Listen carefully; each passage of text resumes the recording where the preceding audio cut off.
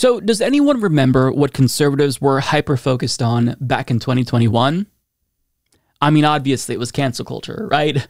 It got so absurd that I, think it peaked when they claimed that Mr. Potato Head was canceled because he was rebranded. So rather than the brand being Mr. Potato Head, it was just Potato Head. They still offered Mr. and Mrs. Potato Head, but because the name itself was more gender neutral, referring to a line of products, that was cancel culture. Another uh, standout to me was when they claimed that, Dr. Seuss was canceled because the estate of Dr. Seuss decided to pull several books from publication because they didn't think that they aged particularly well. That was cancel culture. I think that the Muppets were canceled uh, according to conservatives, as well as Coke. Maybe it was Pepsi. Uh, no, I think that Coke was the cancel cultural uh, culture er in that instance. Either way, like they talked about cancel culture. This year, it's flipped. Now they're all in on cancel culture, baby.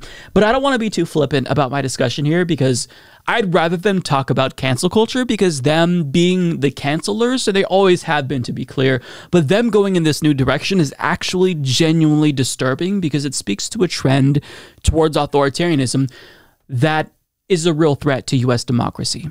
So, Jake Johnson of Common Dreams explains the GOP's nationwide war on public education, specifically the teaching of race, US history, and LGBTQ identities, has led to a 250% spike in state level educational gag order bills this year, according to a report published by the free expression group PEN America. Titled America's Censored Classrooms, the new report finds that lawmakers in 36 different US states have introduced 137 gag order measures in 2022, up from 54 such bills last year. With the exception of a single Democratic bill in Arizona, all of the gag order proposals unveiled this year have been led by Republican legislators. The analysis defines educational gag orders as state legislative efforts to restrict teaching about topics such as race, gender, American history, and LGBTQ plus identities in K through 12 and higher education. Now keep in mind that one of the main critiques from conservatives of universities is that they're not intellectually diverse enough. They censor, you know, voices from conservatives, and they're essentially liberal brainwashing factories. This is the whole reason why Turning Point USA was created and why so many right wing billionaires are funding that organization. But now, what are they trying to do? Homogenize all schools so they fit their theocratic way of thinking. Interesting. So they went from thinking, oh, intellectual diversity, good, to thinking, maybe not so much. If you know, we shut out the voices that we don't like. Like everything that they say, everything that they accuse the left and liberals of doing is pure projection. I feel like that's true nine times out of 10 with every single policy that they support. Now, what is an educational gag order. So it's relatively broad, right? But the article kind of uh, points it out. But we have a couple of concrete examples. Florida's Don't Say Gay is certainly one of them where school administrators in one district at least were instructed to not display, you know, their photo of their spouse if they're in a same-sex relationship, to not have a, you know, rainbow lanyard that the district itself gave out to them. Basically, you you have to hide that you're gay. It's it's a modern version of don't ask, uh, don't ask, don't tell. Do you remember that when uh, military members were forced into the closet if they wanted to remain in the military? Well, now we're doing that with teachers. Another one is bans on CRT, certain bans for books, and things like this, which happened in the GCI district in North Texas, where they effectively banned the word transgender throughout the district, and uh, they placed restrictions on pronouns. So, I mean, you're not supposed to bring up pronouns. I don't know how you do that because, you know, uh, everyone uses pronouns. They also placed restrictions on additional books. And while more bills were introduced this year, more bills were actually passed last year, believe it or not. But the trend is still worrying because the bills are increasing in terms of quantity. And when it comes to the quality of these bills, they are demonstrably more punitive. So they are trying to really punish people who aren't in line with their theocratic worldview.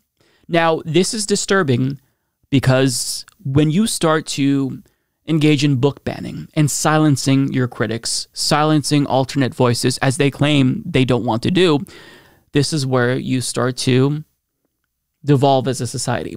Now, I want to play a clip from OAN, which thankfully is a network that's on their deathbed, but one of their hosts, Kara McKinney, she uh, decided to defend book banning. She's just saying it. And listen to what she says because her argument here is very Nazi esque, and I don't think that I'm being too uncharitable. You know, this whole controversy over book banning is something similar. Democrats see the poll numbers and they try to use their outsized media influence to redirect the anger of voters over the idea of book banning to Republicans. In the same way that when most low info voters think about political corruption, they now think Trump, instead of more accurately Biden or Hillary. It's the classic Saul Alinsky rules for radicals tactic of accusing your political opponent of what, of what you're doing yourself so that you can hide in plain sight. However, even with that being said, there is a more important reason as to why I want to lead the show off tonight with this seemingly minor, even unimportant story. Now, I say seemingly because obviously I think it's important, that's why I'm talking about it. Now, oftentimes, many of us on the right get so upset with the left that we end up digging ourselves into a hole by just trying to argue the exact opposite of what they are.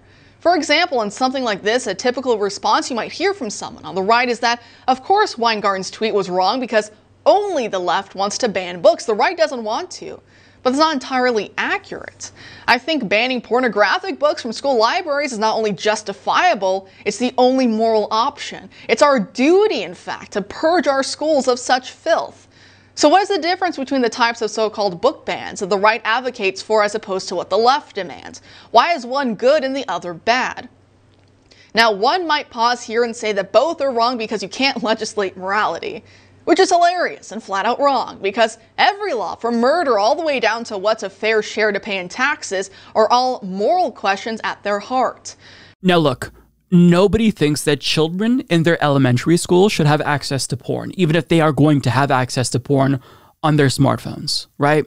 But what these fascists are doing is they're designating anything that they don't like as pornographic material. So if there's a book about, you know, gay parents, they'll claim that that's pornography. Anything that they don't like, they'll conflate with pornography. This is what they do. I mean, do you actually believe that there's porn in schools where you can like check out a book from your school library and see somebody get pounded. That's not happening. They know that that's not happening.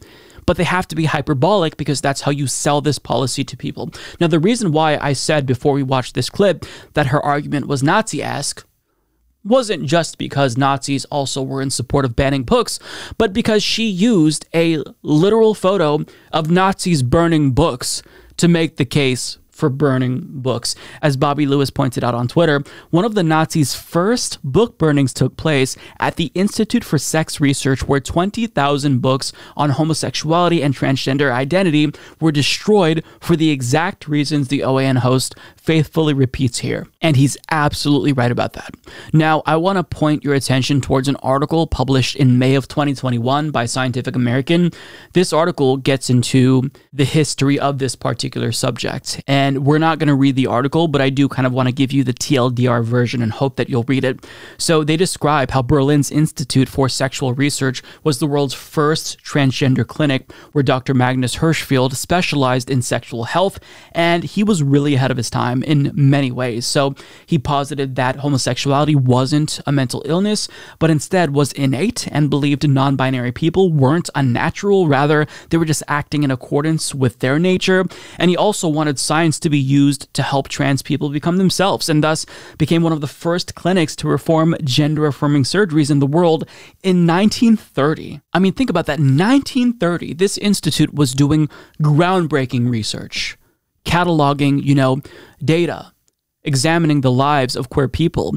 And this doctor saw people in Germany and their lives because they were queer. So what he wanted to do was put forward this message that queer lives were worth living. If you're transgender, your life is valuable. If you're gay, your life is valuable. And at the time, this was mind blowing to people. They never considered that, wait, maybe these people actually do deserve to live. Maybe they're not freaks. But when Hitler came to power, all of that research, thousands and thousands of books, studies, data, articles, documentation of queer people, it was put into the street and burned so everyone could see it. Now, that research, unfortunately, was never recovered. But as new studies are conducted on gender and sexuality, they're basically confirming all of uh, Hirschfeld's hypotheses. Like for him to say, yeah, homosexuality is innate. I mean, we haven't discovered a gay gene, but more and more there's evidence that that is indeed the case when it comes to trans people. There's evidence that this is not something that they flippantly choose. This is innate within them, it's their nature. He found this out in the 1930s. And now, as we progress once again in society, these fascists want to do the same thing follow in Hitler's footsteps, ban these books, hide these facts, these statistics about queer people away from the public. This is why it's no laughing matter. You know, you can dunk on conservatives for saying that, you know, they're hypocrites because all of a sudden they support cancel culture when they were bemoaning cancel culture all of last year. But this is a dangerous trend the censorship of this data, censorship of studies, the erasure of people, queer people, isn't just an unfortunate phenomenon that is the product of our era.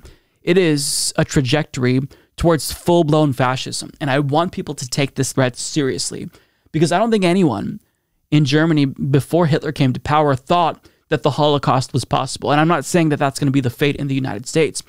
But I'm saying because we've learned from history or should have learned from history, we can't just laugh this off. We have to take it seriously. So whenever conservatives talk about banning certain words, banning certain people from being themselves, that should be a giant warning sign to every single person in society that things are going to get worse if you don't address this.